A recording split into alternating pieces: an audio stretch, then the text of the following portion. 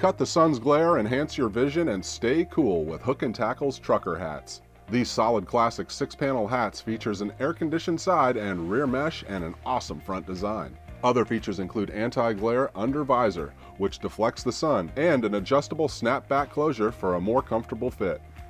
The antimicrobial sweatband prohibits bacterial growth and unpleasant odors.